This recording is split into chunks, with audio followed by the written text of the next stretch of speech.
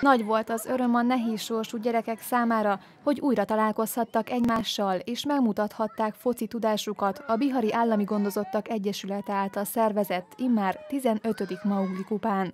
Az eseményen Debreceni és Hajdúbihari lakásotthonokban élő fiatalok és gondozásból kikerült utógondozottak, valamint hátrányos helyzetben élő gyermekek vettek részt szeptember 23-án. Voltunk a Bogi karácsonyon is, meg tavaly is voltunk itt a, ugyanígy a focin, viszont szerintem azért fontos, fontosak ezek a rendezvények, kicsit a különböző gondoskodásban élő gyerekeket így kisebb szinten összehozza, és a felnőttek is jobban belelátnak így a gyermekek gondozásába.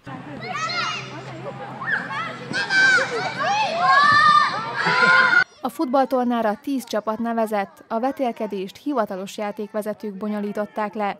Buzás Lajos, az Egyesület elnöke a rendezvényen kiemelte, olyan leigazolt sportolók is eljöttek, akik annó itt kezdtek a Maugli kupán. Nagyon érdeklődtek a gyerekek, és nagyon jönni akartak. Van olyan ö, versenyzőnk, vagy foci csapat, hogy lett volna más hol fellépésük, mert komolyabb osztályba játszanak, és inkább azt lemondták, és ide jöttek. Tehát ez is egy üzenet ennek a rendezvénynek, hogy azért barátok találkoznak, itt állami gondozott gyerekek, akik már egy-két éve nem látták egymást. Ez, ez, ez, ez a, az a rendezvény erről is szól, hogy ezek a gyerekek találkozhassanak egymással. Hajdú-Bihar vármegye több pontjáról, illetve az ország más részéről mintegy 350 állami gondoskodásban élő fiatal vett részt a számukra rendezett sporteseményen.